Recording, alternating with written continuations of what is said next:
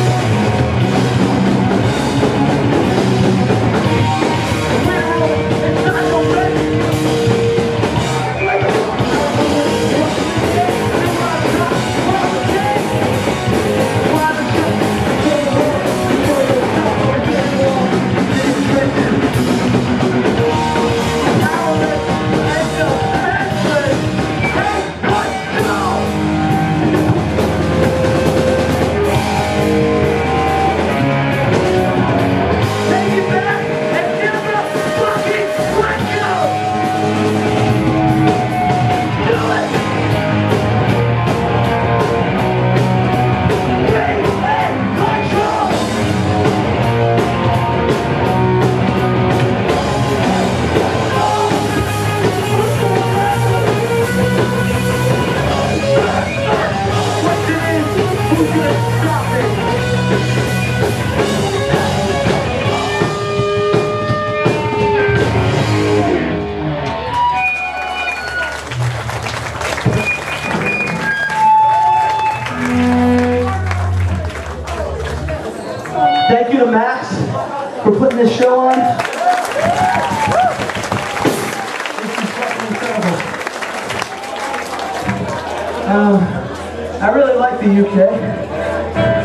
I like your. It reminds me of East Coast cities in the U.S.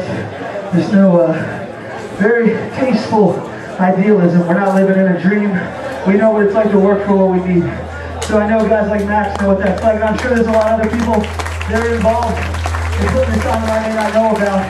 Uh, thanks to Bomb Reaction for letting us use their stuff. Thanks to Jeff God for letting us use their stuff. We, uh, I'd just be up here doing spoken word if it weren't for those people. So thank you very much. This song is, uh, song's from Max. Thanks for the hospitality. It's called Thrive.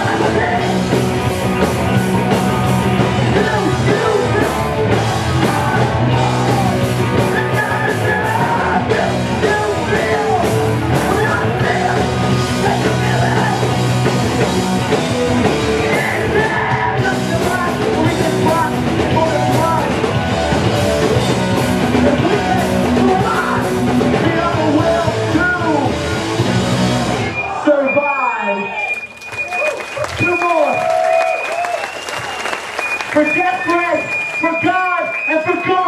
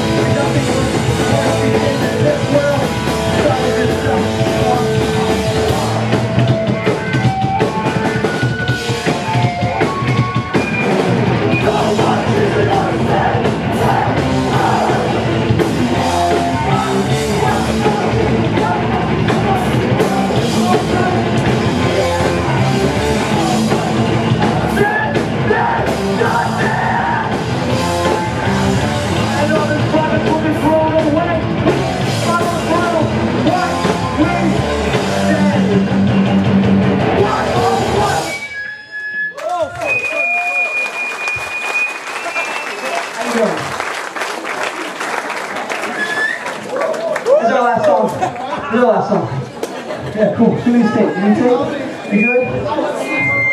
Just gonna stage anyway. We have one more song. Hey, now that ain't yours. All right.